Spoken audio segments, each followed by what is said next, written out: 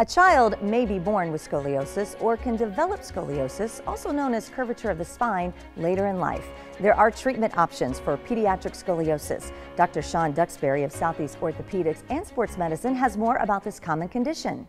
Most of the scoliosis in children is identified between the age of 10 and the age of 18, their adolescent years.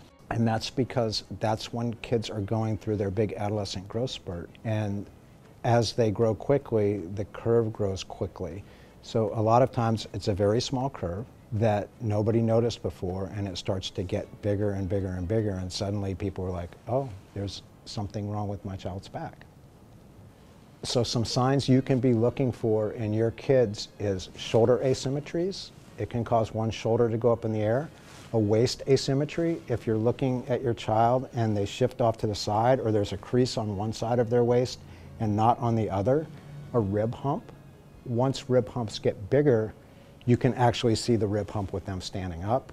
Otherwise, if you get them to bend down and touch their toes, you can see that rib hump coming up on one side. So the most important thing I'd like parents to know about scoliosis and its treatment is that it is very treatable. Through bracing and surgery, we have excellent options that have really good outcomes and long-term function. And also, you can get it treated right here in Cape Girardeau now.